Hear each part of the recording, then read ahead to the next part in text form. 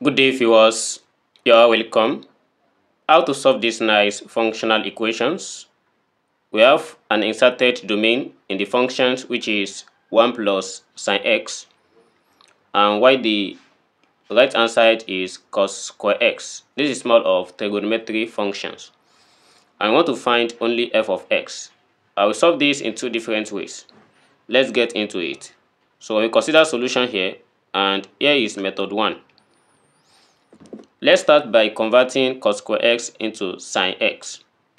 We note that, let's say we have cos square x, so this is given as 1 minus sine squared x. And by substituting this, we have f of 1 plus sine x equals 1 minus sine squared x. So I have to convert this because the domain here is as sine x. And after getting this, we're going to recall that suppose we have to let 1 plus sine x into another letter. If I choose letter t to be equals this.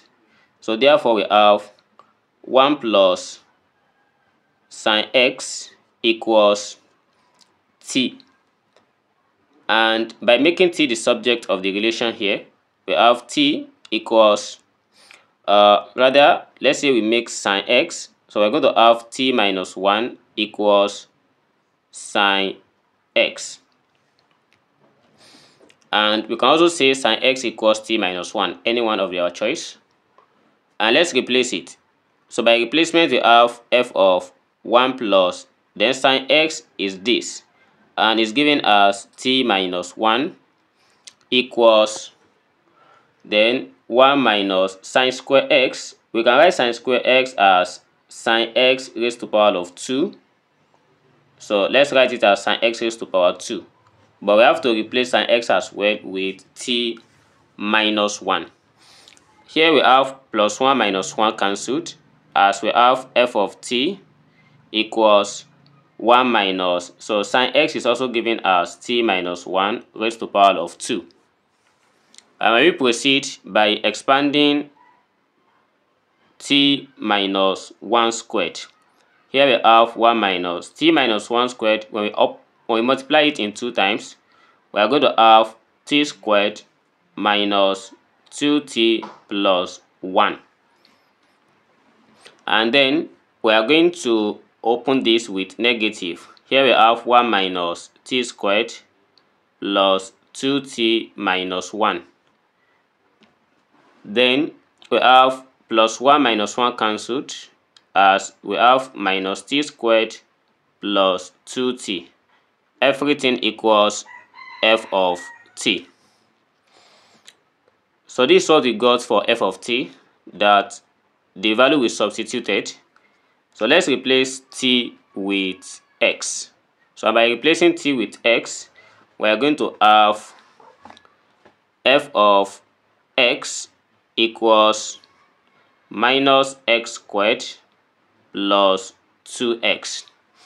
So this is the solution to these functions as f of x. But how can we define this domain? It's very simple because we are given sine x which is a trigonometric function. And we know that sine x is at the it has the ranges uh, starting from uh, if you have sine x so it has a ranges of is a member of minus 1 comma 1 so that is the value find between this minus 1 and 1 then how can we now divine x? So x will now be a member of 0 comma 2 and how do we know that it is 0, comma 2? So it's just as a simple as it is as simple as when we substitute this value of x into this function of f of x. Now we test for 0. So at this equals to 0, we are going to have everything here become 0. And if this also equals to, we also have it become 0. So no any other values again. So let's consider this as the fixed method. We're going to be solving this in another way round and see which of these method are very easy to solve. If you are just coming to this channel, please do well to subscribe and share the videos. Let's start the second method for solving the same questions.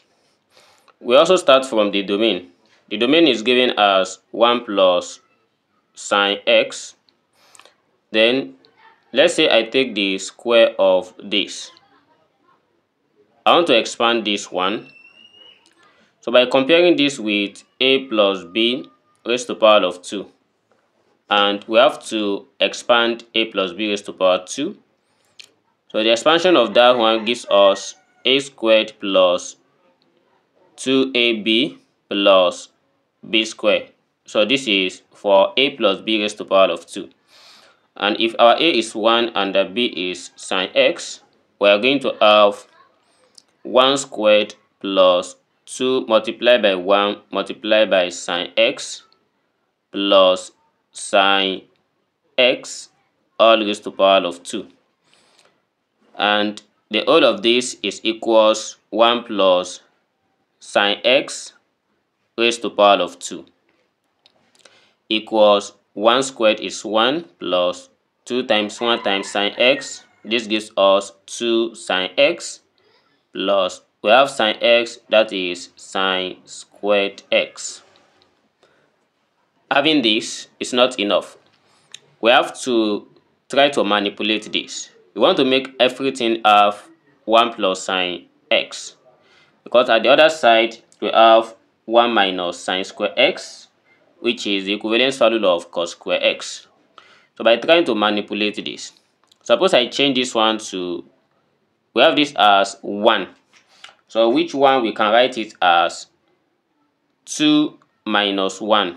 So as 2 minus 1, it gives us 1. Then plus 2 sine x plus sine squared x. If I combine minus 1 with sine squared x, we are going to have it as sine squared x minus 1. Then plus, also we have 2 plus 2 sine x. And what I need here is, I need something like 1 minus sine squared x. So if I take out minus here, we change this one to 1 minus sine squared x. Then plus, let's factor out 2 here as well. We have this as 1 plus sine x. And everything here equals 1, minus 1 plus sine squared x. If I make 1 minus sine squared x the subject, I will transfer it here. As we have 1 minus sine squared x equals, here we have 2 sine 2 into the bracket of 1 plus sine x and we also take minus 1 plus sine x all raised to power 2 to this side. So positive change to negative. So that is what we have here. Then here is plus 2 into bracket of 1 plus sine x and if we consider what we have above we cannot change 1 minus sine square x which is the other side everything equivalent to cos squared x and we'll be changing all this one to x. So therefore, the function also the same thing as what we have, which is f of x equals minus x squared plus 2x. So different methods, same questions, and the same answers. Thanks for watching. And uh, which of these two methods is easy? So see you in the next video. Never stop learning. Bye bye.